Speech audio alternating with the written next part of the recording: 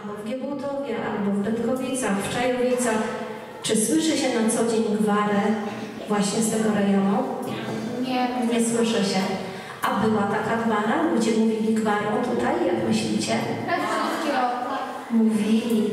I mamy bardzo wiele takich materiałów, które dowodzą tego, że tutaj ludzie potrafili mówić gwarą krakowską. Ale z biegiem lat krakowska zaczęła zanikać. A my jesteśmy teraz w tym miejscu, że staramy się, żeby ta gwara nasza i nasze y, dziedzictwo właściwie nie zaginęło. I ja tutaj jestem z tego powodu, żeby Wam przybliżyć, jak piękne piosenki ludowe, napisane gwarą, y, śpiewane przez, przez naszych nie pradziadków, babcie i jeszcze właśnie starsze osoby pamiętają. I dzięki temu ja mogę dzisiaj Wam zaśpiewać i Was nauczyć.